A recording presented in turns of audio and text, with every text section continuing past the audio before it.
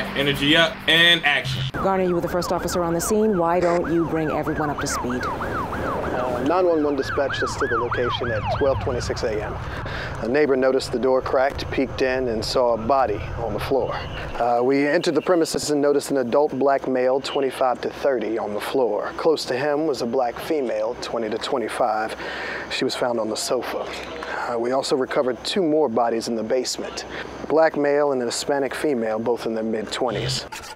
My money is gone, Jazz. Five people are dead. And you know the best part of the fucked up story is? Everyone thinks I did it. I'm gonna need you to think real hard for me. What happened at that jazz? And I swear, you better tell me every fucking detail. I'm telling you, it, it was all good when we got there. We, I saw Trav walk in that house around 9:30. Tape's gonna come right here, and I need I need about ten people right here. Okay. Okay. Copy that. All right, Watch your mouth. What? You need to watch your mouth. Oh, I gotta watch my mouth, but Dominique can put hers all over you, huh?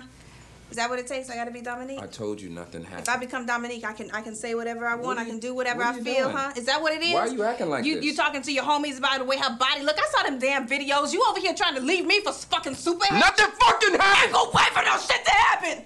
I'm not gonna wait for that shit. You have to start making some decisions. As soon as they open up, they open up. The table's gonna come right here.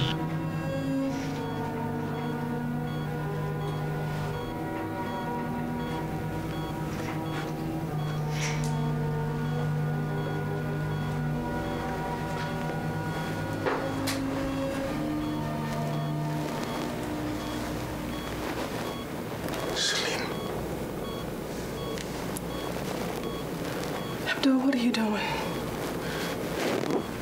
Get out of here. This ain't got nothing to do with you. Got everything to do with me.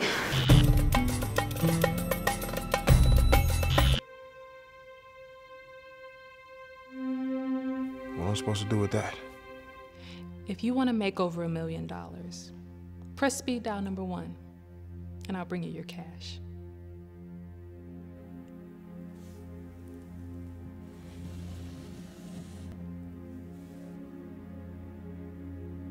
So,